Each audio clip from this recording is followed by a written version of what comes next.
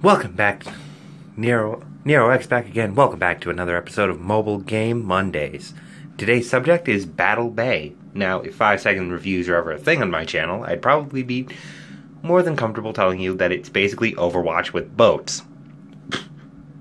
But five second reviews aren't a thing on this channel because this video's gone already gone on longer than five seconds. But short and to the point, it's a team-based multiplayer action game in which you control boats with varying different weapons. All the weapons have their own strengths, weaknesses, cooldown times, you name it. Insert clip of Shirley Caesar preaching here. Moving right along. You have five different classes of ships. You have your shooter, which is sort of like Tracer from Overwatch, no real glaring weaknesses, but no real glaring strengths. The speeder, which is light and speedy, but very easy to bring down you have the defender, which is slow and powerful, the healer, which no one plays, and I believe that's it.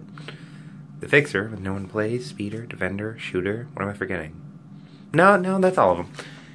Anyway, if you like team based gameplay, you like occasionally raging on a train for no real good reason, and you want to go around a two with me, feel free to download this game, add me on it, start a guild up, and yeah, I think that's about all I can bring up in this video other than showing off how good my footage came out, how good I did in the footage.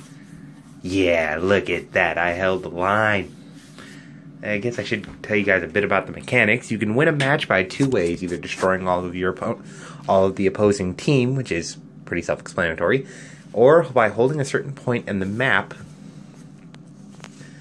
for a certain amount of time. This point is called the capture point, and it's shown up as a green circle on the map. If you can stay within this circle for a certain until it goes to 100%, you will win the match by default.